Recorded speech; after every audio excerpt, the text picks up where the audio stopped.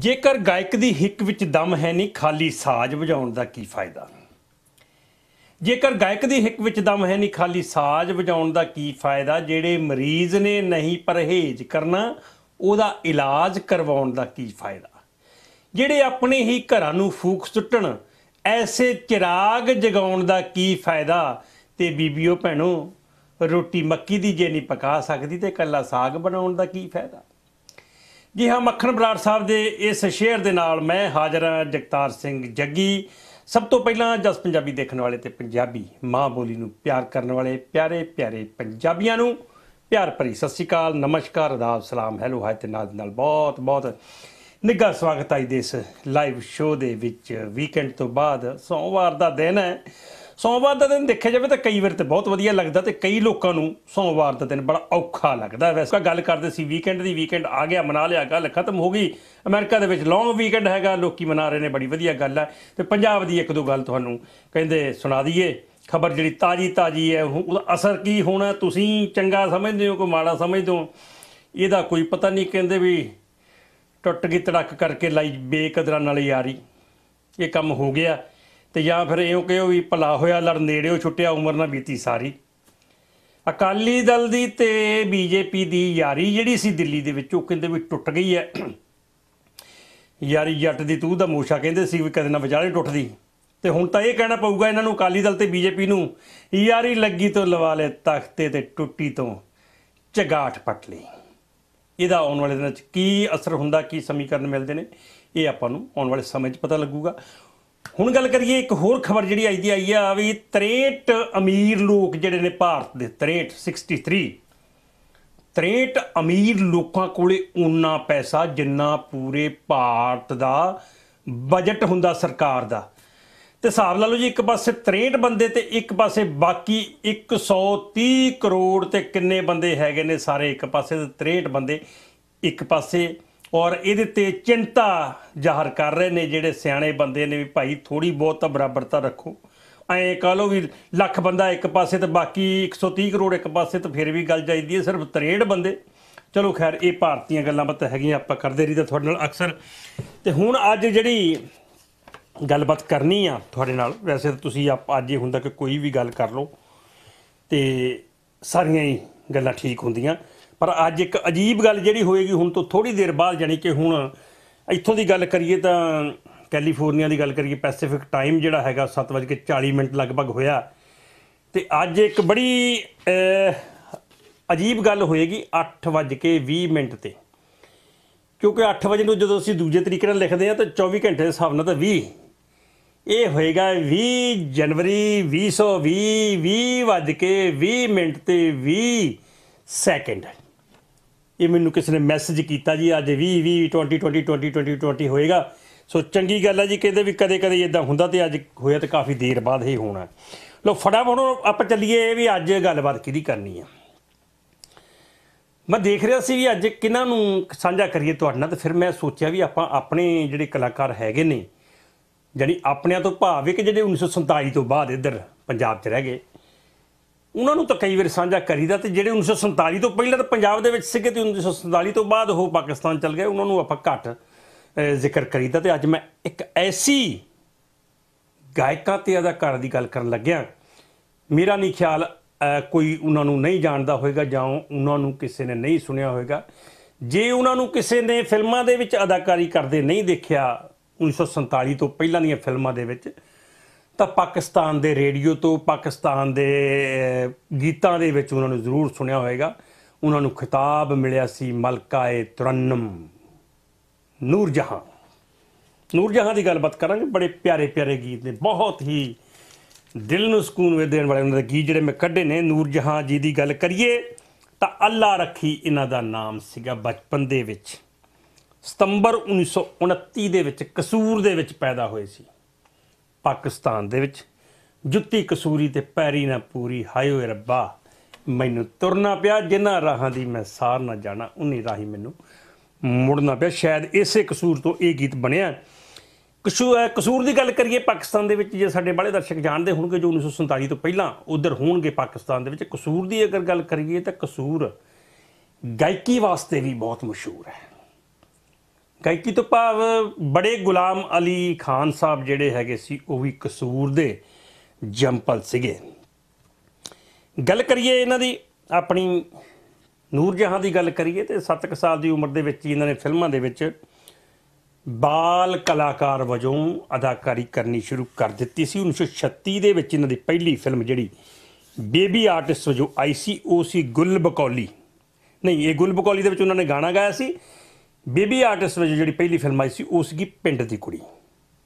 ਸੋ ਬਹੁਤ ਸਾਰੀਆਂ ਫਿਲਮਾਂ ਦੇ ਵਿੱਚ ਇਹਨਾਂ ਨੇ ਕੰਮ ਕੀਤਾ ਬਹੁਤ ਸਾਰੀਆਂ ਫਿਲਮਾਂ ਦੇ ਵਿੱਚ ਇਹਨਾਂ ਨੇ ਬੇ 18 ਕ ਫਿਲਮਾਂ ਦੇ ਵਿੱਚ ਬੇਬੀ ਆਰਟਿਸਟ ਵਜੋਂ ਕੰਮ ਕੀਤਾ ਉਸ ਤੋਂ ਬਾਅਦ ਹੋਰ ਅਨੇਕਾਂ ਫਿਲਮਾਂ ਕੀਤੀਆਂ।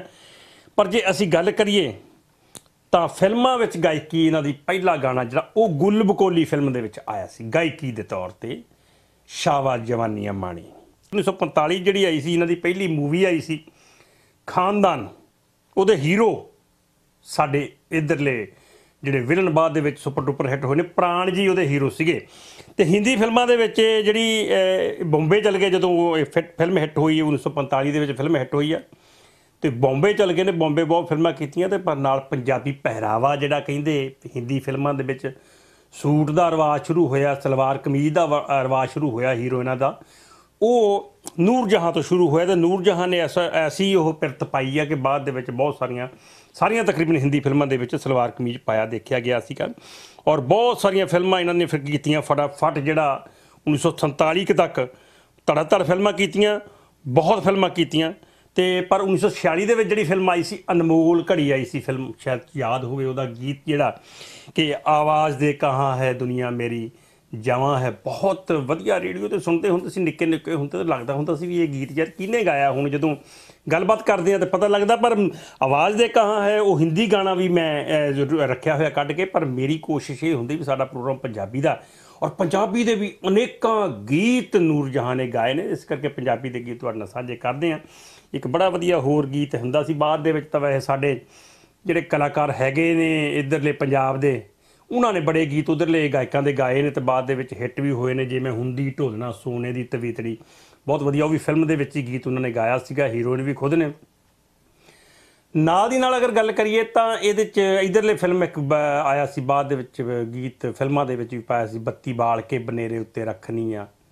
ਘਰ ਭੁੱਲ ਨਾ ਜਾਵੇ ਚੰਨ ਮੇਰਾ, ਉਹ ਵੀ ਨੂਰ ਜਹਾਂ ਨੇ ਬਹੁਤ ਦੇਰ ਪਹਿਲਾਂ ਗਾਇਆ ਸੀ। ਬਾਅਦ ਦੇ ਵਿੱਚ ਤਾਂ ਬਹੁਤ ਸਾਰੇ ਕਲਾਕਾਰ ਬੱਤੀ ਜਿਹੜੀ ਹੁਣ ਬਾਲ ਕੇ ਬਨੇਰੇ ਦੇ ਉੱਤੇ ਆਪਣੀਆਂ ਇਧਰਲੇ ਪੰਜਾਬ ਦੀਆਂ ਬਹੁਤ ਸਾਰੀਆਂ ਗਾਇਕਾਵਾਂ ਨੇ ਰੱਖੀ ਹੈ, ਪਰ ਜਿਹੜੀ ਬੱਤੀ ਬਾਲ ਕੇ ਬਨੇਰੇ ਉੱਤੇ ਨੂਰ ਜਹਾਂ ਰੱਖ ਗਈ, ਉਹ ਬੱਤੀ ਮੁੜ ਕੇ ਨਹੀਂ ਬਲੀ, ਜਿਹੜੀ ਆਵਾਜ਼ ਉਹਨਾਂ ਦੀ ਸੀਗੀ।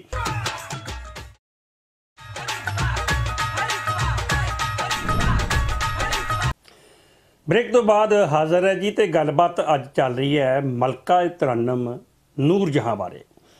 ਵੈਸੇ ਤੁਹਾਡੇ ਨਾਲ ਜਿਹੜੀ ਗੱਲਬਾਤ ਕਰਨੀ ਹੈ, ਉਹਦੇ ਚ ਕੋਈ ਵਿਸ਼ਾ ਵਸਤੂ ਨਹੀਂ ਹੁੰਦਾ। ਖੁੱਲੀਆਂ ਗੱਲਾਂ ਅੱਜ ਕਰੀਦੀਆਂ ਕਿਸੇ ਵੀ ਤਰ੍ਹਾਂ ਦੀ, ਚਾਹੇ ਉਹ ਰਾਜਨੀਤਿਕ ਗੱਲ ਹੈ, ਚਾਹੇ ਉਹ ਸੱਭਿਆਚਾਰਕ ਗੱਲ ਹੈ, ਤੇ ਚਾਹੇ ਸਾਡੀ ਕੋਈ ਹੋਰ ਕਮਿਊਨਿਟੀ ਦੀ ਗੱਲਬਾਤ ਹੈਗੀ ਹੈ, ਤੇ ਉਹ ਹਰ ਗੱਲਬਾਤ ਕਰ ਸਕਦੇ ਹੁੰਨੇ ਅੱਜ। ਕੁਝ ਵੀ ਸੁਣਨਾ, ਸੁਣਾਉਣਾ ਚਾਹੁੰਦੇ ਆ, ਤੇ ਅੱਜ ਦੇ ਦਿਨ ਦਿਲ ਦੇ ਵਲਵਲੇ ਜਿਹੜੇ ਉਹ ਸਾਂਝੇ ਕਰ ਸਕਦੇ ਹੁੰਨੇ ਆਪਾਂ ਪੰਜਾਬੀਆਂ ਦੇ ਨਾਲ। ਕੋਈ ਕਵਿਤਾ, ਕੋਈ ਗੀਤ ਸੁਣਾਉਣੀ ਹੋਵੇ, ਤਾਂ ਜ਼ਰੂਰ ਸੁਣਾ ਸਕਦੇ ਆ। ਔਰ ਨਾਲ ਦੀ ਨਾਲ ਗੱਲਬਾਤ ਜਿਹੜੀ ਕਰ ਰਹੇ ਸੀਗੇ ਨੂਰ ਜਹਾਂ ਦੀ ਇਹ ਕਿ ਉਹਨਾਂ ਨੇ ਇਜ਼ਾਜ਼, ਜਿਹੜਾ ਸ਼ੌਕਤ ਰਿਜ਼ਵੀ ਨਾਲ ਉਹਨਾਂ ਦਾ ਵਿਆਹ ਹੋਇਆ ਸੀ, ਦੋ ਬੇਟੇ ਤੇ ਚਾਰ ਬੇਟੀਆਂ ਹੋਈਆਂ ਸੀਗੀਆਂ ਉਹਨਾਂ ਕੋਲ।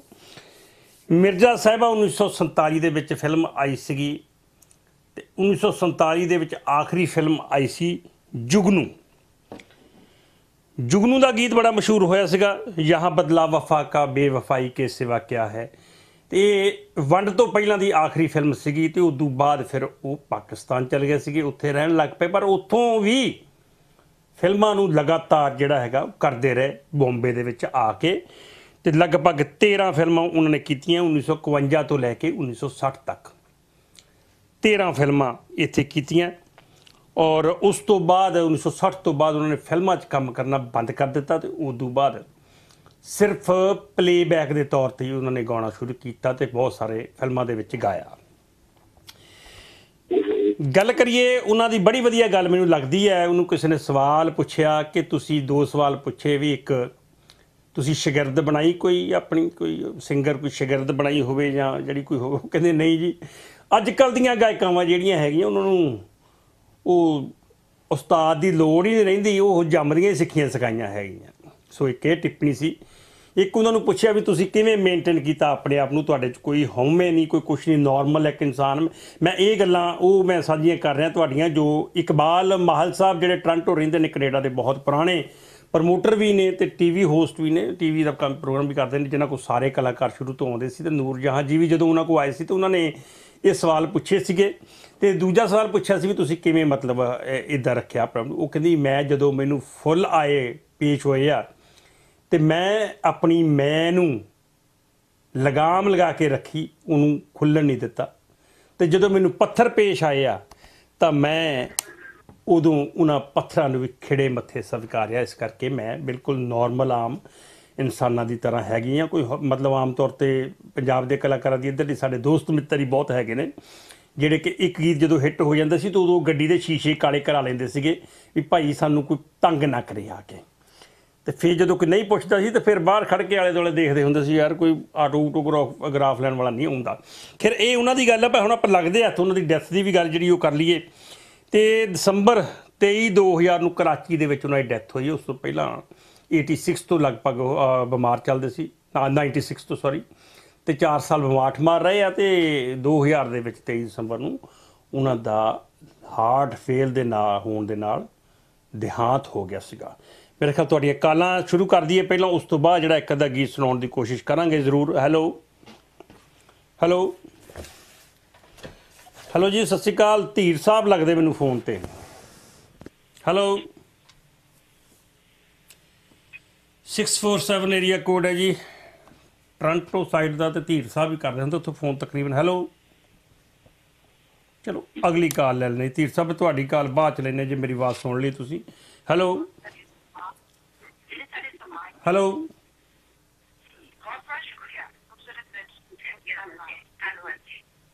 ਹੈਲੋ ਜੀ। ਹਾਂਜੀ ਸਤਿ ਸ਼੍ਰੀ ਅਕਾਲ ਜੀ। ਤੁਸੀਂ ਕੀ ਸੁਣੀ ਜਾਂਦੇ ਹੋ? ਸਮਝ ਮੈਂ ਇਧਰ ਹੈਲੋ ਹੈਲੋ ਕਰੀ ਜਾਂਦਾ ਸੁਰਿੰਦਰ ਸਿੰਘ ਜੀ। ਉਹ ਤੁਹਾਡੀ ਐਡ ਚੱਲਦੀ ਆ ਥੋੜਾ ਜਿਹਾ ਪਿੱਛੇ ਚੱਲਦਾ ਨਾ ਟੀਵੀ ਮੈਂ ਐਡ ਦੇ ਵਿੱਚ ਫਸਿਆ ਸੀ ਟਾਇਰਾਂ ਦੀ। ਹਾਂ ਮੈਂ ਐਡ ਹੋਰ ਸੁਣਾਓ ਕਿਦਾਂ? ਕਿਰਪਾ ਜੀ ਕਿਰਪਾ ਤੁਸੀਂ ਦੱਸੋ। ਹਾਂਜੀ ਕੀ ਅੱਜ? ਠੀਕ ਠਾਕ ਕਿਰਪਾ ਜੀ। ਨੂਰ ਜਹਾਂ ਅੱਜ ਹੈਗਾ ਜੀ ਨੂਰ ਜਹਾਂ ਦਾ ਜਨਮ ਦਿਨ ਸੀ ਅੱਜ ਕੀ ਸੀ? ਨਹੀਂ ਨਹੀਂ ਨਹੀਂ ਜਨਮ ਦਿਨ ਤਾਂ ਨਹੀਂ ਸੀ ਉਹ ਵੈਸੇ ਹੀ ਮੈਂ ਫਿਰ ਦੁੱਖਿਆ ਵੀ ਮੈਂ ਕਿਹਾ ਇਹਨਾਂ ਮਤਲਬ ਕਰ ਕਿਤੇ ਫਿਰ ਕੋਈ ਥੋੜਾ ਬਹੁਤ ਚੇਂਜ ਹੋ ਜਾਂਦੀ ਹੈ ਅਕਸਰ ਆਪਾਂ ਤਾਂ ਕਰਦੇ ਰਹੀਦਾ ਆਪਣੇ ਬੰਦੇ ਨਹੀਂ ਨਹੀਂ ਬਹੁਤ ਵਧੀਆ ਬਹੁਤ ਵਧੀਆ ਦਿਖਾ ਲਿਆ ਕਰੋ ਪੁਰਾਣੇ ਜਿਹੜੇ। ਉਧਰ ਲਿਖੇ ਸੀ ਨਾਲ ਉਧਾਰ ਦਾ ਵੀ ਲਿਆਇਓ ਸੁਰਿੰਦਰ ਸਿੰਘ ਜੀ ਸੋਚਣ ਵਾਲੀ ਗੱਲ ਹੈ 1947 ਚ ਇਹ ਚਲ ਗਈ ਪਾਕਿਸਤਾਨ। ਤੇ ਨਹੀਂ ਤਾਂ ਅਦਰਵਾਈਜ਼ ਲਤਾ ਮੰਗੇਸ਼ਕਰ ਕੁਦਰਤ ਦੇ ਰੰਗ ਹੈ ਸਾਰੇ। ਨਹੀਂ ਤਾਂ ਲਤਾ ਮੰਗੇਸ਼ਕਰ ਜੀ ਦਾ ਬਹੁਤ ਵੱਡਾ ਕੰਪੀਟੀਸ਼ਨ ਹੋਣਾ ਸੀ ਇਹਨਾਂ ਦੇ ਇਕੱਠੇ ਗਾਇਆ ਵੀ ਹੈ ਫਿਲਮ ਦੇ ਵਿੱਚ। ਮਿਰਜ਼ਾ ਸਾਹਿਬ ਨੇ ਬਿਲਕੁਲ ਜੀ ਬਿਲਕੁਲ ਸਭ ਕਿਸਮਤ ਦੇ ਗੇੜੇ ਆ ਇਹ ਤਾਂ ਬਹੁਤ ਪੰਜਾਬੀ ਨੂੰ ਪੁਰਾਣਾਇਓ ਲੋਕ ਆ ਜਿੰਨੇ ਵੀ ਪਾਕਿਸਤਾਨ ਦੇ ਗਵਈਏ ਸਾਰੇ ਹੀ। ਤੁਸੀਂ ਕੀ ਲੈ ਕੇ ਆਏ ਸਾਡੇ ਦਰਸ਼ਕਾਂ ਲਈ? ਅਸੀਂ ਆ ਲੈ ਕੇ ਜਿਹੜਾ ਹੁਣ ਬਦਲਣ ਲੱਗੇ ਹਿੰਦੁਸਤਾਨ ਨੂੰ ਜੀ। ਹਿੰਦੁਸਤਾਨ ਦੀ ਬਦਲੀ ਹੋਣ ਲੱਗੀ? ਆ ਬਦਲਨੇ ਰਹੇ ਹੁਣ ਧਰਮ ਤੋਂ ਜਿਹੜਾ ਕੀ ਬਦਲਦੇ ਉਹ ਕਾਨੂੰਨ ਜਿਹਾ ਹਾਏ ਹਾਏ ਹਾਏ ਹਾਏ ਉਹ ਤਾਂ ਜੀ ਹੱਦ ਹੈ ਕਹਿੰਦਾ ਰਾਤੀ ਮੈਂ ਸੁਪਨੇ ਦੇ ਵਿੱਚ ਸੁਣਿਆ ਕਿ ਪਹਿਲਾਂ ਇੱਕ ਰੰਗ ਜੀਵ ਹੋਇਆ ਕਰਦਾ ਸੀ। ਜੀ। ਪਰ ਤੁਰੰਤ ਹੀ ਖਿਆਲ ਆਇਆ ਕਿ ਉਹ ਤਾਂ ਬਹੁਤ ਸਮਾਂ ਪਹਿਲਾਂ ਹੀ ਮਰ ਗਿਆ ਸੀ। ਜੀ। ਪਰ ਜਦੋਂ ਮੇਰੀ ਅੱਖ ਖੁੱਲੀ ਮੈਂ ਸਾਹਮਣੇ ਖੜਾ ਦੇਖ ਰੰਗ ਜੀਵ ਨੂੰ ਬਹੁਤ ਡਰ ਗਿਆ ਸੀ। ਜੀ। ਉਹ ਮੈਨੂੰ ਕਹਿੰਦਾ ਡਰ ਨਾ ਹਾਂ ਤਾਂ ਮੈਂ ਬੇਸ਼ੱਕ ਉਹੀ। ਪਰ ਹੁਣ ਰੂਪ ਬਟਾ ਕੇ ਆਇਆ ਹਾਂ। ਹੂੰ। ਕਹਿੰਦਾ ਪਹਿਲਾਂ ਡਾਂਗ ਦੇ ਜ਼ੋਰ ਨਾਲ ਆਇਆ ਸੀ ਹੁਣ ਤਾਂ ਤੁਸੀਂ ਖੁਦ ਚੁਣ ਕੇ ਬੁਲਾਇਆ ਹਾਂ। ਅੱਛਾ। ਕਰੂੰਗਾ ਮੈਂ ਸਦਾ ਹੀ ਧੱਕਾ ਪਰ ਹੁਣ ਕੁਰਾਨ ਦੀ ਥਾਂ ਮੈਨੂੰ ਮੈਨੂੰ ਸਿਮਰਤੀ ਮਨਵਾ ਬਣਾਇਆ ਹਾਂ। ਇਸੇ ਲਈ ਹੁਣ ਮੈਂ ਤੁਹਾਡੇ ਜਨੇਊ ਲਾਉਣ ਦੀ ਥਾਂ ਧੱਕੇ ਨਾਲ ਜਨੇਊ ਪਵਾਉਣ ਆਇਆ ਹਾਂ। ਜਿੱਥੇ ਮੈਂ ਪਹਿਲਾਂ ਸੀ ਬਣਾਈ ਮਸਜਿਦ ਹੁਣ ਉੱਥੇ ਧੱਕੇ ਨਾਲ ਢਾਹ ਕੇ ਮੰਦਿਰ ਬਣਾਉਣ ਆਇਆ ਹੂੰ। ਕਹਿੰਦਾ ਕਰਨਾ ਮੈਂ ਜੁਰਮ ਹੀ ਪਹਿਲਾਂ ਅੱਲਾ ਦੇ ਨਾਮ ਤੇ। ਹੁਣ ਰਾਮ ਦਾ ਨਾਮ ਲੈ ਕੇ ਆਇਆ ਹਾਂ। ਹੁਣ ਮੈਂ ਤੁਹਾਡਾ ਧਰਮ ਨਹੀਂ ਬਦਲਦਾ। ਬਸ ਧੱਕੇ ਨਾਲ ਸਿਰਫ ਤੁਹਾਡੀ ਮਾਂ ਬਦਲਣ ਆਇਆ ਹਾਂ। ਤੁਹਾਡੀਆਂ ਮਾਵਾਂ ਰੋਲਣ ਜਿੱਥੇ ਮਰਜ਼ੀ। ਇੱਕ ਪਸ਼ੂ ਨੂੰ ਧੱਕੇ ਨਾਲ ਤੁਹਾਡੀ ਮਾਂ ਬਣਾਉਣ ਆਇਆ ਹਾਂ। ਸੜਕਾਂ ਤੇ ਘੁੰਮਦੀ ਗਾਂ ਦੇ ਰੂਪ ਵਿੱਚ ਮੌਤ ਤੁਹਾਡੀ ਦਾ। ਟੈਕਸ ਤੁਹਾਡੇ ਕੋਲੋਂ ਪ੍ਰਭਾਵਨ ਆਇਆ ਹਾਂ। ਜੀ। ਕਹਿੰਦਾ ਦੇਸ਼ ਭੁੱਖਾ ਮਰੇ ਮੈਨੂੰ ਕੀ। ਮੈਂ ਤਾਂ ਦੇਸ਼ ਨੂੰ ਧੱਕੇ ਨਾਲ ਭਗਵੇਂ ਰੰਗ ਵਿੱਚ ਰੰਗਣ ਆਇਆ ਹਾਂ। ਜੀ। ਸ਼ਹਿਰ ਸੜਕਾਂ ਜਿਹੋ ਜਿਹੀਆਂ ਹੋਣ ਮਰਜ਼ੀ। ਮੈਂ ਧੱਕੇ ਨਾਲ ਉਹਨਾਂ ਦੇ ਨਾਮ ਬਦਲਾਵਣ ਆਇਆ ਹਾਂ। ਰੂਪ ਬਦਲਦਾ ਰਹੂਗਾ ਕਿਉਂਕਿ ਫਿਰਕੂ ਹਾਂ ਮੈਂ। ਹੁਣ ਭਾਰਤ ਦਾ ਇਤਿਹਾਸ ਬਦਲਣ ਆਇਆ ਹਾਂ। ਬਚਾ ਲਓ ਜੇ ਬਚਾ ਸਕਦੇ ਹੋ। ਹਲਰਾਜ ਸਿੰਘ ਬਸ ਭਾਰਤ ਨੂੰ ਤਬਾਹ ਕਰਨ ਆਇਆ ਹਾਂ। ਬਸ ਭਾਰਤ ਨੂੰ ਤਬਾਹ ਕਰਨ ਆਇਆ। ਕਮਾਲ ਦੀ ਗੱਲ ਔਰ ਹੈਰਾਨੀ ਦੀ ਗੱਲ ਹੈ ਇੰਨਾ ਜ਼ਿਆਦਾ ਵਿਰੋਧ ਪੂਰੇ ਭਾਰਤ ਦੇ ਵਿੱਚ ਇੰਨਾ ਜ਼ਿਆਦਾ ਬੁਰਾ ਹਾਲ ਹੈ ਤੇ ਉਹ ਕਹਿੰਦੇ ਜੀ ਗੱਲ ਹੀ ਕੋਈ ਨਹੀਂ ਹੈਗੀ। ਤੇ ਮੰਨਣ ਨੂੰ ਤਿਆਰ ਨਹੀਂ ਦੇਖੋ ਧੱਕਾ ਹੀ ਕਰੀ ਜਾਂਦੇ ਉਹ 4-5 ਮਹੀਨੇ ਹੋ ਗਏ ਵਿਚਾਰੇ ਅੰਦਰ ਹੀ ਬਾੜਿਓ ਕਸ਼ਮੀਰ ਵਾਲੇ ਨਿਕਲਣੇ ਦਿੰਦੇ ਉਹਨਾਂ ਨੂੰ। ਚਲੋ ਮਿਹਰਬਾਨੀ ਜੀ। ਧੱਕਾ ਯਾਰ ਧੰਨਵਾਦ। ਮਿਹਰਬਾਨੀ ਜੀ। ਹੈਲੋ ਹੈਲੋ ਹੈਲੋ ਹਾਂਜੀ ਹਾਂਜੀ ਧੀਰ ਸਾਹਿਬ। ਹਾਂਜੀ ਪਹਿਲੇ ਤੁਹਾਡੀ ਆਵਾਜ਼ ਨਹੀਂ ਸੀ ਆ ਰਹੀ ਹਾਂ ਨਹੀਂ ਮੈਂ ਕਹਿ ਰਿਹਾ ਸੀ ਹੈਲੋ ਹੈਲੋ ਫਿਰ ਮੈਂ ਕਾਲ ਹੋਲਡ ਕਰਤੀ ਮੈਂ ਕਿਹਾ ਉਹ ਬ੍ਰੇਕ ਚੱਲਦੀ ਸੀ ਨਾ ਧਿਆਨ ਫਿਰ ਕਈ ਵਾਰੀ ਉਧਰ ਹੁੰਦਾ ਹੈ। ਤੇ ਹਾਂਜੀ, ਜੀ ਪਹਿਲਾਂ ਤਾਂ ਜੀ ਸਾਰਿਆਂ ਨੂੰ ਜੀ ਸਤਿ ਸ੍ਰੀ ਅਕਾਲ ਤੁਹਾਨੂੰ ਵੀ ਸਤਿ ਸ਼੍ਰੀ ਅਕਾਲ ਜੀ ਸਵਾਗਤ ਬਹੁਤ ਬਹੁਤ ਤੁਹਾਡਾ ਇਹ ਦੂਜੀ ਗੱਲ ਮੈਂ ਤੁਹਾਨੂੰ ਦੱਸਦਾ ਵੀ ਸਾਡੇ ਬ੍ਰੈਂਪਟਨ ਦੇ ਵਿੱਚ ਵੀ ਬੜੇ ਕਲਾਕਾਰ ਰਹਿੰਦੇ ਨੇ ਇੱਥੇ ਹਾਂਜੀ ਹਾਂਜੀ ਤੁਹਾਡੇ ਕਲਾਕਾਰ ਪੁਰਾਣੇ ਇਹ ਮੁਹੰਮਦ ਸੀਖ ਸਾਹਿਬ ਦੇ ਭਰਾ ਵੀ ਉੱਥੇ ਇੱਕ ਰਹਿੰਦੇ ਸੀਗੇ ਇਕਬਾਲ ਮਾਹਲ ਉੱਥੇ ਜਿਹੜੇ ਪੁਰਾਣੇ ਇਕਬਾਲ। ਮਾਲ ਜੀ। ਕੁਲਦੀਪ ਦੀਪਕ ਰਾਜ ਘੁੰਮਣ ਤੇ ਆਪਣੇ ਮਾਨ ਸਾਹਿਬ ਜਿਹੜੇ ਸੀ ਹਰਭਜਨ ਮਾਨ ਉਹ ਵੀ ਇੱਥੇ ਹੀ ਰਹਿੰਦੇ ਹੁੰਦੇ ਸੀ। ਉਹ ਵੀ ਇੱਥੇ ਸੀ ਅਸੀਂ ਉਹਨਾਂ ਦੇ ਘਰ ਗਏ ਜਿਹੜੇ ਬਾਪੂ ਪਾਰਸ ਜੀ ਤੇ ਉਹਨਾਂ ਦੇ ਪੁੱਤਰ। ਤੇ ਹ- ਹਰਜਨ ਮੈਂ ਸਿੰਘ ਮੈਂ ਮਿਲਿਆ ਹੋਇਆ ਜੀ। ਬਾਪੂ ਮੈਂ ਬਾਪੂ ਪਰਸਨਲ ਨੂੰ ਖੁਦ ਮਿਲਿਆ ਹੋਇਆ। ਹਾਂਜੀ ਹਾਂਜੀ ਅਸੀਂ ਤਾਂ ਕਾਫੀ ਦੇਰ ਰਹੇ ਉਹਨਾਂ ਦੇ ਕੋਲ ਨਾ ਕਿੱਥੇ ਘਰੇ ਕੈਨੇਡਾ ਹੀ ਰਹੇ ਸੀ ਜਦੋਂ ਸ਼ੋਅ ਕਰਨ ਆਏ ਸੀ। ਬੜੀ ਮਹਾਨ ਸ਼ਖਸੀਅਤ। ਸੀ ਜੀ ਕਰਨੈਲ ਸਿੰਘ ਪਾਰਸ। ਹੂੰ ਬਹੁਤ ਮਹਾਨ ਸ਼ਖਸੀਅਤ ਸੀ। ਅੱਛਾ ਹੁਣ ਤੁਸੀਂ ਮੈਂ ਤੁਹਾਡਾ ਬਹੁਤ ਬਹੁਤ ਧੰਨਵਾਦ। ਤੁਸੀਂ ਮਲਕੇ ਤਰਨਮ ਨੂਰ ਜਹਾਨ ਨੂੰ ਯਾਦ ਕੀਤਾ। ਜੀ ਬਿਲਕੁਲ ਹਾਂਜੀ ਮੈਂ ਉਹ। ਇਕਬਾਲ ਮਹਿਲ ਦੀ ਉਹਨਾਂ ਦੀ ਕਿਤਾਬ ਆਈ ਸੀ ਸੁਰਾਂ ਦੇ ਸੁਦਾਗਰ ਹਾਂਜੀ ਇਨਫੋਰਮੇਸ਼ਨ ਹਾਂਜੀ ਹਾਂਜੀ ਹਾਂਜੀ ਹਾਂਜੀ ਜੀ। ਹਾਂਜੀ। ਜੀ। ਅੱਛਾ ਇਹ ਦੇਖੋ ਜਿਹੜੇ ਪੁਰਾਣੇ ਕਲਾਕਾਰ ਸੀ ਨਾ ਜੀ। ਇਹ ਬਹੁਤ ਹੀ ਸ਼ਰੀੂਰ ਤੇ ਬਹੁਤ ਹੀ ਸਿੱਖੇ ਹੋਏ ਕਲਾਕਾਰ ਹੁੰਦੇ ਸੀ। ਜੀ। ਅੱਜ ਕੱਲ ਦੇ ਕਲਾਕਾਰਾਂ ਦੀ ਤਰ੍ਹਾਂ ਨਹੀਂ। ਅੱਛਾ ਹੁਣ ਤੁਸੀਂ ਦੇਖੋ ਕਸੂਰ ਸ਼ਹਿਰ। ਜੀ। ਇਧਰਲੇ ਪਾਸੇ ਮੈਂ ਦੱਸਾਂ ਆਪਣੇ ਭਰਾਵਾਂ ਨੂੰ ਇਧਰਲੇ ਪਾਸੇ ਭੈਣਾਂ ਭਰਾਵਾਂ ਨੂੰ ਸਾਡੇ ਫਿਰੋਜ਼ਪੁਰ ਸ਼ਹਿਰ ਆ। ਬਾਰਡਰ ਟੱਪ ਕੇ ਦੂਜੇ ਪਾਸੇ ਕਸ਼- ਕਸੂਰ ਸ਼ਹਿਰ ਆ। ਅੱਛਾ ਕਿਹੜੇ ਕਿਹੜੇ ਸ਼ਹਿਰ ਦੇ ਨਾਲ? ਫਿਰੋਜ਼ਪੁਰ ਸ਼ਹਿਰ ਨਾਲ। ਫਿਰੋਜ਼ਪੁਰ ਵਾਲੇ ਪਾਸੇ ਠੀਕ ਹੈ ਜੀ। ਹਾਂਜੀ ਜਿੱਦਾਂ ਇੱਧਰ ਆਪਣੇ ਇੱਧਰ ਅੰਮ੍ਰਿਤਸਰ ਤੇ ਦੂਜੇ ਪਾਸੇ ਲਾਹੌਰ ਆ। ਇਧਰਲੇ ਪਾਸੇ ਫਿਰੋਜ਼ਪੁਰ ਆ ਤੇ ਦੂਜੇ ਪਾਸੇ ਕਸੂਰ ਆ। ਕਸੂਰ ਹੈ ਅੱਛਾ ਜੀ। ਹਾਂਜੀ। ਤੇ ਬਹੁਤਾ ਫ਼ਰਕ ਨਹੀਂ ਹੈਗਾ ਤੇ ਵਿਚਾਲੇ ਬਸ ਇੱਕ ਬਾਰਡਰ ਹੀ ਬਣਾਇਆ ਹੋਇਆ ਇਹਨਾਂ ਨੇ। ਤੇ ਕਸੂਰ ਪੰਜਾਬ ਦਾ ਪਾਕਿਸਤਾਨੀ ਪੰਜਾਬ ਦਾ ਸ਼ਹਿਰ ਆ। ਜੀ। ਤੇ ਇਹ ਦੇਖੋ ਮਲਕਾ ਤਰਨਮ ਨੂਰ ਜਹਾਨ ਪਹਿਲਾਂ ਤਾਂ ਮੈਂ ਦੱਸ ਰਿਹਾ ਕਿ ਜਦੋਂ ਇਹ ਆਪਣੇ ਲਤਾ ਮੰਗੇਸ਼ਕਰ ਜੀ ਨੂੰ ਪਤਾ ਲੱਗਿਆ ਨਾ 1987 1977 78 ਦੀ ਗੱਲ ਆ। ਤੇ। ਇਹ ਨੂਰ ਜਹਾਨ ਨਿਊਯਾਰਕ ਆਈ ਹੋਈ ਆ। ਹਾਂਜੀ। ਤੇ ਲਤਾ ਮੰਗੇਸ਼ਕਰ ਸਪੈਸ਼ਲ ਮਿਲਣ ਲਈ ਉਥੇ ਨਿਊਯਾਰਕ ਇਹਨਾਂ ਦੇ ਅਪਾਰਟਮੈਂਟ ਦੇ ਵਿੱਚ ਬੰਬੇ ਤੋਂ ਇੱਥੇ ਆਈ। ਦੇਖੋ ਕਿੰਨਾ। ਪਿਆਰ ਹੁੰਦਾ ਸੀ ਇਹਨਾਂ ਦੇ ਵਿੱਚ। ਬਿਲਕੁਲ ਬਿਲਕੁਲ। ਹਾਂਜੀ ਔਰ ਫਿਰ ਜਿਹੜੇ ਲੋਕੀ ਦੱਸਦੇ ਆ ਮੈਂ ਉਹ ਫੋਟੋ ਵੀ ਅਖਬਾਰ ਦੇਖਿਆ ਨੇ ਜਿਹੜੀ ਇਹਨਾਂ ਦੀ ਮਿਲਣੀ ਹੋਈ ਸੀ ਨਾ ਉਹ ਬਹੁਤ ਹੀ ਭਾਵਕ ਤੇ ਬਹੁਤ ਹੀ ਖੁਸ਼ੀ ਮਾਹੌਲ ਦੇ ਵਿੱਚ ਬਹੁਤ ਹੀ ਜ਼ਿਆਦਾ ਵਧੀਆ ਤਰੀਕੇ ਨਾਲ ਮਿਲਣੀ ਹੋਈ ਸੀ ਜਦੋਂ ਇਹ ਦੋਨੋਂ ਕਲਾਕਾਰ ਮਿਲੀਆਂ। ਇਹਨਾਂ ਨੇ ਲਤਾ ਜੀ ਨੇ ਬਹੁਤ ਵਧੀਆ ਇਹਨਾਂ ਬਾਰੇ ਬੋਲਿਆ ਸੀ ਬਹੁਤ ਹੀ ਵਧੀਆ ਇਹਨਾਂ ਦੀ ਸਤਿਕਾਰ ਰਿਸਪੈਕਟ ਦੇ ਵਿੱਚ ਬੋਲਿਆ ਸੀ ਪੂਰਾ। ਹਾਂਜੀ ਹਾਂਜੀ। ਤੇ ਤੁਸੀਂ ਦੇਖੋ ਮੇਰੇ ਕੋਲ ਇਹਨਾਂ ਦੇ ਅਨਮੋਲ ਘੜੀ ਫਿਲਮ ਇਹ ਦੇਵਾਨੰਦ ਦੇ ਨਾਲ ਆਈ ਸੀ। ਮੇਰੇ ਕੋਲ ਪਹਿਲਾਂ ਐਲਪੀ ਰੈਕਡ ਹੁੰਦਾ ਸੀ ਇਹਨਾਂ ਦੇ ਗਾਣਿਆਂ ਦਾ। ਅੱਛਾ ਜੀ ਅੱਛਾ। ਉਹ ਤਾਂ ਖੈਰ ਨਹੀਂ ਮੇਰੇ ਖਿਆਲ ਸ਼ਾਇਦ ਟੁੱਟ ਟੁੱਟ ਗਿਆ ਸੀ। ਤੇ ਅਨਮੋਲ ਘੜੀ ਦੇ ਇਹੀ ਗਾਣਾ ਤੁਸੀਂ ਵੀ ਦੱਸਿਆ। ਦਿਖਾਵਾਂਗੇ। ਦਲੀਪ ਹਾਂਜੀ? ਦਿਖਾਵਾਂਗੇ ਗੀਤ ਜ਼ਰੂਰ ਉਹ ਜੇ ਟਾਈਮ ਮਿਲਿਆ ਨਾ। ਹਾਂਜੀ। ਦਲੀਪ ਕੁਮਾਰ ਸਾਹਿਬ ਨਾਲ ਇਹਨਾਂ ਦੀ ਫਿਲਮ ਜੁਗਨੂ ਆਈ ਸੀ ਉਹਦੇ ਵਿੱਚ। ਨੂਰ ਜਹਾਂ ਹੀਰੋਇਨ ਸੀ। ਨੂਰ ਜਹਾਂ ਦੇ ਗਾਣੇ ਸੀ। ਜਾਂ ਬਦਲਾ ਵਫਾ ਕਾ ਬੇਵਫਾਈ ਬੇਵਫਾਈ ਕੇ ਕੇ ਸਿਵਾ ਸਿਵਾ ਕਿਆ ਕੁਛ। ਨਹੀਂ ਮੁਹੰਮਦ ਰਫੀ ਸਾਹਿਬ ਦੇ ਨਾਲ ਗਾਇਆ ਨੂਰ ਜਹਾਂ ਦਾ ਗਾਣਾ। ਹਾਂਜੀ ਹਾਂਜੀ। ਤੇ। ਇਹ ਆਖਰੀ ਫਿਲਮ ਸੀ ਵੰਡ ਤੋਂ ਪਹਿਲਾਂ ਦੀ ਮੇਰੇ ਖਿਆਲ। ਹਾਂਜੀ ਹਾਂਜੀ। ਔਰ ਫਿਰ ਦੇਖੋ ਜਿਹੜੇ ਇਹਨਾਂ ਨੇ ਇਹ ਫਿਲਮ ਹੀਰ ਰਾਂਝਾ ਇਹ 1977 ਦੇ ਵਿੱਚ ਆਈ ਸੀ। 70 ਚ ਮੇਰੇ ਤੁਸੀਂ ਗਾਣਾ ਗਾਣਾ ਲਾਇਆ ਮੈਂ ਬਹੁਤ 70 ਵਾਰੀ ਇਹ ਗਾਣਾ ਘਰ ਵੀ ਲਾ ਕੇ। ਸੁਣਦਾ ਹੁੰਦਾ ਤੇ ਫਰਮਾਇਸ਼ ਵੀ ਕਰਵਾਉਣਾ ਹੁੰਦਾ। ਚਲੋ ਮਿਹਰਬਾਨੀ। ਬੰਦਲੀ ਦੀ ਮਿੱਠੜੀ ਤਾਂ ਬਹੁਤ ਹੀ ਸ਼ਾਨਦਾਰ। ਫਿਲਮ ਸੀ ਜੀ ਹੀਰ ਰਾਂਝਾ ਫਿਲਮ ਹਾਂਜੀ ਹਾਂਜੀ। ਵੈਸੇ ਪਾਕਿਸਤਾਨ ਦੀਆਂ ਫਿਲਮਾਂ ਉਹਦੀਆਂ ਉਨੀਆਂ ਕਾਮਯਾਬ ਨਹੀਂ ਜਿੰਨੀਆਂ ਆਪਣੀਆਂ ਪਾਕਿਸਤਾਨ ਦੇ ਵਿੱਚ 50% ਟੈਕਸ ਮਾਫ ਹੋਣ ਦੇ ਬਾਵਜੂਦ ਵੀ ਲੋਕੀ ਪਾਕਿਸਤਾਨੀ ਫਿਲਮਾਂ ਘੱਟ ਦੇਖਦੇ ਨੇ। ਮੈਨੂੰ ਇਸ ਵੇਲੇ ਜਿਹੜਾ ਉਹਦੇ ਵਿੱਚ ਕੈਦੋ ਬਣਿਆ ਸੀ ਨਾ ਜੀ। ਉਹਦਾ ਮੈਨੂੰ ਨਾਮ ਨਹੀਂ ਯਾਦ ਆ ਰਿਹਾ ਇਸ ਵੇਲੇ ਕਈ ਵਾਰੀ ਆ ਜਾਂਦਾ ਕਈ ਵਾਰੀ ਨਹੀਂ। ਉਹਨੇ ਬੜਾ ਸ਼ਾਨਦਾਰ ਰੋਲ ਕੀਤਾ ਸੀ ਕੈਦੋ ਦਾ। ਜੀ ਜੀ ਚਲੋ ਮਿਹਰਬਾਨੀ ਜੀ ਕਹਿੰਦਾ ਸਾਹਿਬ ਤੁਹਾਡੀ ਹਾਂਜੀ। ਉਹ ਕਹਿੰਦਾ ਨਾ ਭਾਈਆ ਮੈਂ ਤੈਨੂੰ ਸਮਝਾਣਾ ਹੀ ਨਾ ਚੋਰੀਆਂ ਤੋਂ ਖਲਾਈਆਂ ਹੋਈਆਂ ਨੇ।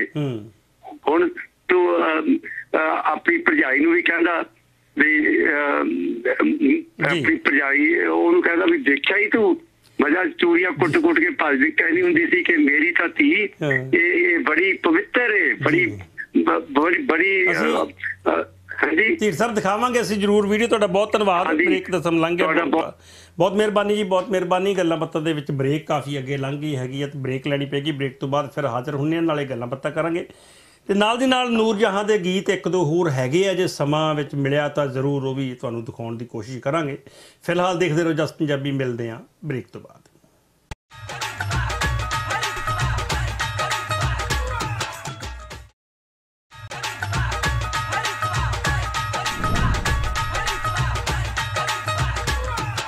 ਬ੍ਰੇਕ ਤੋਂ ਬਾਅਦ ਹਾਜ਼ਰ ਹੈ ਜੀ ਅੱਜ ਦਾ ਪ੍ਰੋਗਰਾਮ ਲੈ ਕੇ ਤੇ ਨਾਲ ਦੀ ਨਾਲ ਗੱਲਾਂ ਬਾਤਾਂ ਦਾ ਸਿਲਸਿਲਾ ਵੀ ਚੱਲਦਾ ਔਰ ਅੱਜ ਦੇ ਪ੍ਰੋਗਰਾਮ ਦੀ ਖਾਸੀਅਤ ਇਹ ਹੁੰਦੀ ਹੈ ਕਿ ਅੱਜ ਦਾ ਪ੍ਰੋਗਰਾਮ ਤੁਹਾਡੀ ਮਰਜ਼ੀ ਦੇ ਨਾਲ ਚੱਲਦਾ, ਮੇਰੀ ਮਰਜ਼ੀ ਦੇ ਨਾਲ ਨਹੀਂ ਚੱਲਦਾ। ਹੁੰਦਾ ਇਹ ਹੈ ਵੀ ਜੋ ਤੁਸੀਂ ਸੁਣਨਾ ਸੁਣਨਾ ਚਾਹੁੰਦੇ ਹੋ ਤੇ ਉਹ ਆਪਾਂ ਅੱਜ ਸੁਣ ਸੁਣਾ ਲਈਦਾ। ਪੂਰੀ ਦੁਨੀਆ 'ਚ ਬੈਠੇ ਪੰਜਾਬੀ ਉਹ ਵੀ ਸੁਣਦੇ ਨੇ। ਦੇਖਦੇ ਨੇ, ਸੁਣਦੇ ਨੇ, ਨਾਲ ਦੀ ਨਾਲ ਕੋਈ ਗੱਲਬਾਤ ਜਿਹੜੀ ਹੁੰਦੀ ਹੈ, ਕੋਈ ਪੰਜਾਬ ਦੀ ਗੱਲ, ਕੋਈ ਪੰਜਾਬੀਅਤ ਦੀ ਗੱਲ, ਉਹ ਵੀ ਨਾਲ ਨਾਲ ਕਰਦੇ ਆ ਤੇ ਚੰਗਾ ਲੱਗਦਾ ਸੁਣ ਸੁਣਾਉਣ ਦੀ ਗੱਲ ਹੁੰਦੀ, ਹਾਲਾਂਕਿ ਈਸਟ ਕੋਸਟ ਵਾਲੇ ਥੋੜਾ ਜਿਹਾ ਮਹਿਸੂਸ ਕਰਦੇ ਨੇ ਕਿ ਵੀ ਹੁਣ ਲੇਟ ਜ਼ਿਆਦਾ ਪ੍ਰੋਗਰਾਮ ਥੋੜਾ ਸ਼ੁਰੂ ਹੁੰਦਾ। ਚਲੋ ਕੋਈ ਗੱਲ ਨਹੀਂ ਟਾਈਮ ਤਾਂ ਟਾਈਮ ਹੈ ਜੀ। ਤੇ ਵੈਸਟ ਕੋਸਟ ਵਾਲੇ ਤੋਂ ਜ਼ਿਆਦਾ ਥੋੜੇ ਜਿਹਾ ਖੁਸ਼ ਹੈਗੇ ਨੇ ਵੀ ਚਲੋ ਹੁਣ ਸਾਡੇ ਟਾਈਮ ਦੇ ਹਿਸਾਬ ਨਾਲ ਹੋ ਗਿਆ ਵੀ 7 ਵਜੇ ਘਰੇ ਆਈਦਾ 7:30 ਤੁਹਾਡਾ ਪ੍ਰੋਗਰਾਮ ਦੇਖ ਲਿਆ। ਚਲੋ ਖੈਰ, ਚੰਗਾ ਬੜਾ ਕੰਮ ਚੱਲਦਾ ਰਹਿੰਦਾ। ਪਰ ਅੱਜ ਕੱਲ ਤਾਂ ਕੰਮ ਬੜਾ ਸੌਖਾ ਹੋ ਗਿਆ। ਸਾਡਾ ਕੋਈ ਵੀ ਪ੍ਰੋਗਰਾਮ ਜਿਹੜਾ ਹੁੰਦਾ, ਅਸੀਂ ਉਹਨੂੰ YouTube ਤੇ Facebook ਵਗੈਰਾ ਤੇ ਪਾ ਦਈਦਾ। ਨਾਲ ਦੀ ਨਾਲ ਜਿਹੜਾ ਕੋਈ ਦੁਨੀਆ 'ਚ ਕਿਤੇ ਵੀ ਕੋਈ ਬੰਦਾ ਬੈਠਾ ਤੇ ਕਦੇ ਵੀ ਦੇਖ ਸਕਦਾ, ਉਹਨੂੰ ਸਾਰੇ ਪ੍ਰੋਗਰਾਮ ਸਾਡਾ YouTube ਚੈਨਲ ਜਿਹੜਾ ਹੈਗਾ, ਜਸ ਪੰਜਾਬੀ ਦਾ, ਉੱਤੇ ਵੀ ਦੇਖ ਸਕਦੇ ਆ। ਨਾਲ ਦੀ ਨਾਲ ਸਾਡਾ ਫੇਸਬੁੱਕ ਜਸ ਪੰਜਾਬੀ ਦਾ ਸਭ ਤੋਂ ਸੌਖਾ ਤਰੀਕਾ ਹੈਗਾ। ਫੇਸਬੁੱਕ ਤੁਸੀਂ ਪੇਜ ਸਾਡਾ ਲਾਈਕ ਕਰੋਗੇ ਤੇ ਨਾਲ ਦੀ ਨਾਲ ਸਾਡੇ ਸਾਰੇ ਪ੍ਰੋਗਰਾਮ ਤੁਹਾਡੇ ਸਾਹਮਣੇ ਆ ਜਾਣੇ। ਹਾਂਜੀ, ਗੱਲ ਫਿਰ ਆਪਾਂ ਕਰੀਏ ਨੂਰ ਜਹਾਂ ਦੀ। ਪਾਕਿਸਤਾਨ ਦੇ ਤੇ ਇਧਰਲੇ ਗਾਇਕ ਜਿਹੜੇ ਬਾਹਲੇ ਗਾਇਕ ਹੈਗੇ ਨੇ, ਉਹ ਅਦਲਾ ਬਦਲੀ ਵੀ ਹੋਏ ਨੇ, ਪਰ ਨੂਰ ਜਹਾਂ ਦੀ ਗੱਲ ਕਰੀਏ ਤਾਂ ਪਾਕਿਸਤਾਨ ਦੀ ਉਹ ਬੋਰਨ ਸੀ। ਮਤਲਬ ਸਾਂਝਾ ਪੰਜਾਬ ਜਦੋਂ ਸਾਡਾ ਹਿੰਦੁਸਤਾਨ ਹੁੰਦਾ ਸੀਗਾ, ਇਕੱਠਾ ਭਾਰਤ ਹੁੰਦਾ ਸੀ, ਤੇ ਬਾਅਦ ਦੇ ਵਿੱਚ ਪਾਕਿਸਤਾਨ 1947 ਤੋਂ ਬਾਅਦ ਕਹਿੰਦੇ ਬਣਿਆ। ਤੇ ਉਦੋਂ ਫਿਰ ਉਹ ਜਿਹੜੇ ਉਧਰ ਚਲ ਗਏ ਬਾਲੇ ਕਲਾਕਾਰ, ਇਧਰੋਂ ਉਧਰ ਚਲ ਗਏ ਬਾਲੇ ਕਲਾਕਾਰ, ਉਧਰੋਂ ਇਧਰ ਆ ਗਏ। ਚਲੋ, ਇਹ ਆਉਣ ਜਾਣ ਜਿਹਾ ਬਣਿਆ ਰਿਹਾ, ਪਰ ਅਸੀਂ ਜੇ ਗਾਇਕੀ ਦੀ ਗੱਲ ਕਰੀਏ ਜਾਂ ਅਸੀਂ ਸੰਗੀਤ ਦੀ ਗੱਲ ਕਰੀਏ ਤਾਂ ਸੰਗੀਤ ਦੀਆਂ ਕਹਿੰਦੇ ਕੋਈ ਹੱਦਾਂ ਬੰਨੇ ਨਹੀਂ ਹੁੰਦੀਆਂ। ਸੰਗੀਤ ਇੱਕ ਸੰਗੀਤ ਹੁੰਦਾ ਔਰ ਸਾਰੀਆਂ ਹੱਦਾਂ ਬੰਨਾਂ ਤੋਂ ਪਰੇ ਹੁੰਦਾ।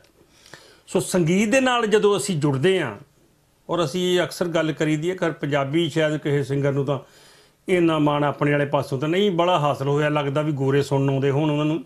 ਪਰ ਜੇ ਕਲਾਸੀਕਲ ਕੋਈ ਸਿੰਗਰ ਹੈਗੇ ਨੇ, ਜਿਵੇਂ ਵਡਾਲੀ ਸਾਹਿਬ ਹੁੰਦੇ ਸੀ, ਉਹਨਾਂ ਦੇ ਸੰਗੀਤ ਨੂੰ ਹੋ ਸਕਦਾ ਸੁਣਦੇ ਹੋਣ ਜਾਂ ਬਰਕਤ ਸਿੱਧੂ ਹੋਣੀ ਸੀ, ਉਹਨਾਂ ਨੂੰ ਤਾਂ ਖੈਰ ਬੜਾ ਮੌਕਾ ਨਹੀਂ ਮਿਲਿਆ ਬਾਹਰਲੇ ਮੁਲਕਾਂ ਦੇ ਵਿੱਚ ਆਉਣ ਦਾ। ਤੇ ਪਾਕਿਸਤਾਨੀ ਗਾਇਕ ਜਿਹੜੇ ਪੱਕ ਹੋਏ ਨੇ, ਨੂਰ- ਨੁਸਰਤ ਫਤਿਹ ਅਲੀ ਖਾਨ ਦੀ ਗੱਲ ਅਕਸਰ ਕਰੀਦੀ ਹੈ ਕਿ ਉਹਨਾਂ ਦੇ ਸੰਗੀਤ ਨੂੰ ਜ਼ਰੂਰ ਇਧਰ ਗੋਣੇ, ਗੋਰੇ ਵੀ ਸੁਣ ਆਉਂਦੇ ਸੀ। ਹਾਲਾਂਕਿ ਉਹਨਾਂ ਨੂੰ ਉਰਦੂ ਜਾਂ ਪੰਜਾਬੀ ਜ਼ਿਆਦਾ ਸਮਝ ਨਹੀਂ ਆਉਂਦੀ ਸੀ, ਪਰ ਉਹ ਸੰਗੀਤ ਦੇ دیਵਾਨੇ ਹੁੰਦੇ ਸੀ।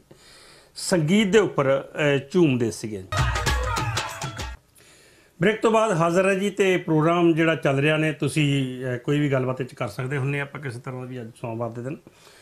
ਸੋ, ਅੱਜ ਸ਼ਾਇਦ ਸਾਡੇ ਦਰਸ਼ਕ ਥੋੜੇ ਜਿਹਾ ਬਿਜ਼ੀ ਨੇ ਥੋੜਾ ਜਿਹਾ ਕਾਲਾਂ ਦਾ ਪ੍ਰੋਗਰਾਮ ਘੱਟ ਹੈ, ਵਿੱਚੋਂ ਬਹੁਤ ਸਾਰੀਆਂ ਕਾਲਾਂ ਡ੍ਰੌਪ ਹੋ ਗਈਆਂ, ਇਹਦਾ ਇਹ ਨਹੀਂ ਪਤਾ ਵੀ ਮੈਨੂੰ ਲੱਗਦਾ ਵਿੱਚ ਸਾਡੀ ਕੋਈ ਟੈਕਨੀਕਲ ਪ੍ਰੋਬਲਮ ਆ ਜਾਂ ਫਿਰ ਰੋਟੀ ਪਾਣੀ ਦਾ ਟਾਈਮ ਹੈਗਾ। ਚਲੋ ਕੋਈ ਗੱਲ ਨਹੀਂ, ਐਸੀ ਗੱਲ ਨਹੀਂ। ਆਪਾਂ ਗਾਇਕੀ ਦੀ ਜਿਹੜੀ ਗੱਲ ਕਰਦੇ ਹਾਂ, ਗਾਇਕੀ ਪਹਿਲੇ ਸਮਿਆਂ ਦੀ ਤਾਂ ਅੱਜ ਦੀ ਗਾਇਕੀ ਦਾ ਜ਼ਮੀਨ ਅਸਮਾਨ ਦਾ ਫ਼ਰਕ ਪੈ ਗਿਆ।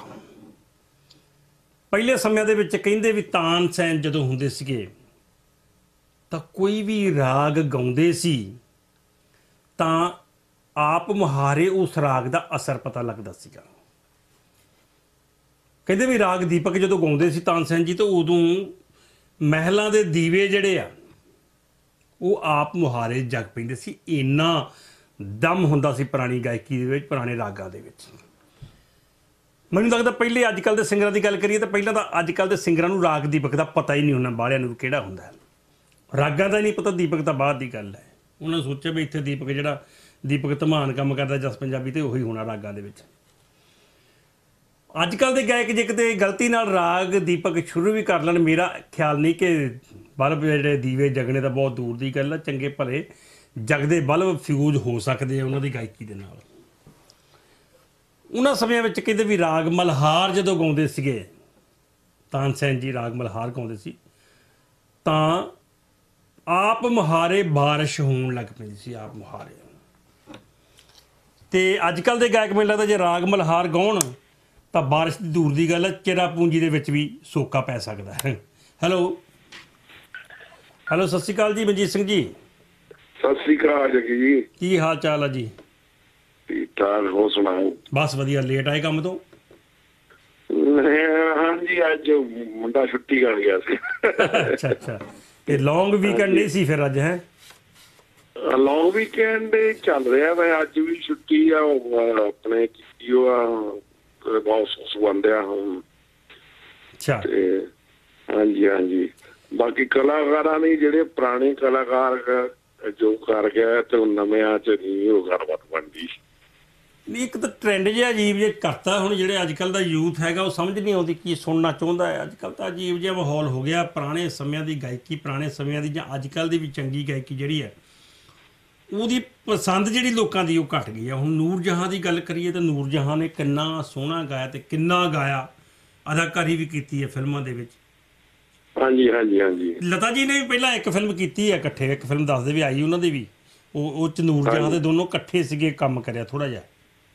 ਹਾਂਜੀ ਹਾਂਜੀ ਹਾਂਜੀ। ਤੇ ਗੀਤ ਤਾਂ ਇਹਨਾਂ ਦੇ ਕਮਾਲ ਨੇ ਬਹੁਤ ਗੀਤ ਇਹਨਾਂ ਦੇ ਹਿੱਟ ਹੋਏ ਨੇ ਨੂਰ ਜਹਾਂ ਦੇ ਪੰਜਾਬੀ ਗੀਤ ਗੱਲ ਕਰ ਲਈਏ ਚਾਹੇ ਹਿੰਦੀ ਗੀਤ ਗੱਲ ਕਰ ਲਈਏ। ਹਾਂਜੀ ਹਾਂਜੀ ਸੁਰਿੰਦਰ ਕੌਰ ਹੋਈ ਬਾਅਦ ਚ ਉਹ ਤੋਂ ਬਾਅਦ ਮੁਹੰਮਦ ਸਟੀਵ ਜਗਮੋਹਨ ਕੌਰ ਜਿੰਨੇ ਵੀ ਇਹ ਸਾਰੇ ਕਲਾਕਾਰ ਆਏ ਇਹਨਾਂ ਦੇ ਗਾਣੇ ਫੈਮਲੀਆਂ 'ਚ ਬੈਠ ਕੇ ਸੁਣੇ ਜਾਵਾਂਗੇ ਬਿਲਕੁਲ ਜੀ ਬਿਲਕੁਲ। ਰਿਕਾਰਡਾਂ ਤੋਂ ਲੈ ਕੇ ਹੁਣ ਤਾਂ ਜਮਾ ਹੀ ਚੇਂਜ ਹੋ ਗਿਆ ਗਾਣਾ ਅੱਜ ਆਇਆ ਕੱਲ ਨੂੰ ਪਤਾ ਹੀ ਨਹੀਂ ਪਹਿਲਾਂ ਸਾਲ ਸਾਲ ਉਡੀਕਦੇ ਰਹਿੰਦੇ ਸੀ।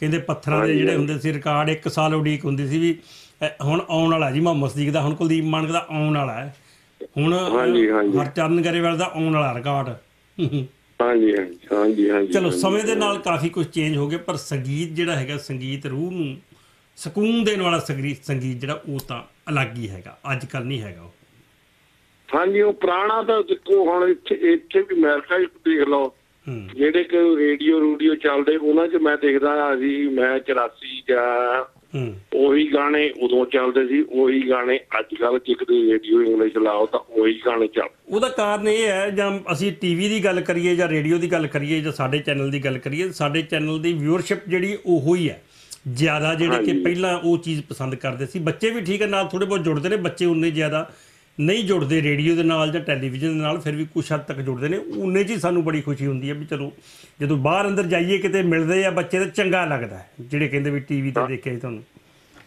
ਹਾਂਜੀ ਹਾਂਜੀ ਹਾਂਜੀ। ਮਿਹਰਬਾਨੀ ਜੀ ਬਹੁਤ ਤੁਹਾਡੀ। Okay okay. ਬਹੁਤ ਮਿਹਰਬਾਨੀ ਜੀ। ਲੋ ਜੀ ਇੱਕ ਵਾਰ ਫਿਰ ਬ੍ਰੇਕ ਲੈਣੀ ਪਏਗੀ ਬ੍ਰੇਕ ਬਾਅਦ ਹਾਜ਼ਰ ਹੁੰਨੇ ਆ ਤੇ ਤੁਸੀਂ ਦੇਖਦੇ ਰਹੋ ਜਸ ਪੰਜਾਬੀ।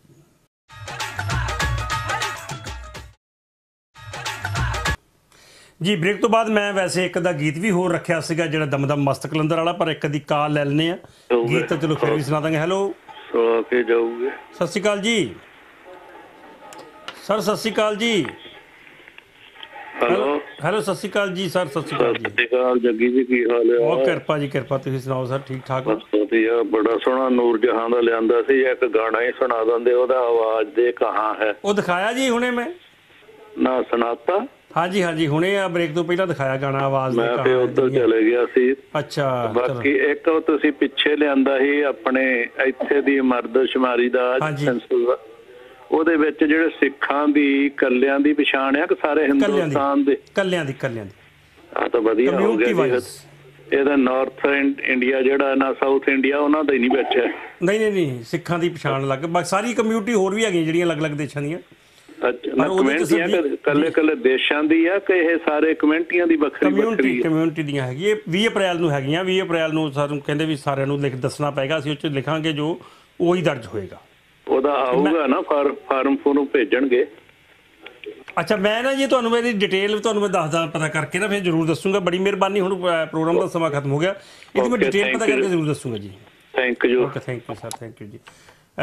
ਉਮੀਦ ਕਰਦਾ ਜੀ ਪ੍ਰੋਗਰਾਮ ਅੱਜ ਦਾ ਤੁਹਾਨੂੰ ਵਧੀਆ ਲੱਗਿਆ ਹੋਊਗਾ। ਈਮੇਲ ਕਰ ਸਕਦੇ ਹੋ jaggi@justbroadcasting.com ਜਾਂ ਫਿਰ info@justbroadcasting.com ਇਸ ਤੋਂ ਇਲਾਵਾ ਫੇਸਬੁੱਕ ਟਵਿੱਟਰ ਹੈਗਾ ਜੀ ਉੱਤੇ ਜਾਂ ਫਿਰ ਮੇਰਾ ਸੈੱਲ ਨੰਬਰ ਤੁਹਾਡੇ ਕੋਲੇ ਹੈਗਾ। ਕੋਈ ਜਾਣਕਾਰੀ ਲੈਣੀ ਚਾਹੁੰਦੇ ਹੋ ਜਾਂ ਜਾਣਕਾਰੀ ਦੇਣੀ ਚਾਹੁੰਦੇ ਹੋ ਤਾਂ ਜ਼ਰੂਰ ਕਾਲ ਕਰ ਸਕਦੇ ਹੋ। ਕੋਈ ਐਡ ਦੇਣੀ ਚਾਹੁੰਦੇ ਹੋ, ਕੋਈ ਪ੍ਰੋਗਰਾਮ ਦੀ ਕਵਰੇਜ ਕਰਾਉਣੀ ਚਾਹੁੰਦੇ ਹੋ ਵੈਸਟ ਕੋਸਟ ਦੇ ਵਿੱਚ ਤਾਂ ਵੀ ਕਾਲ ਕਰ ਸਕਦੇ ਹੋ। 209 450 3362 ਅਖੀਰ ਦੇ ਸਭ ਨੂੰ ਪਿਆਰ ਭਰੀ ਸਤਿ ਸ਼੍ਰੀ ਅਕਾਲ। ਖੁਸ਼ ਰਹੋ, ਖੁਸ਼ ਰੱਖੋ, ਰੱਬ ਰੱਖਾ। ਜੀਵੇ ਪੰਜਾਬ ਜੀਵੇ ਪੰਜਾਬੀ ਨਾਨਕ ਨਾਮ ਚੜ੍ਹਦੀ ਕਲਾ ਤੇਰੇ ਪਾਣੀ ਸਰਬੱਤ ਦਾ ਭਲਾ।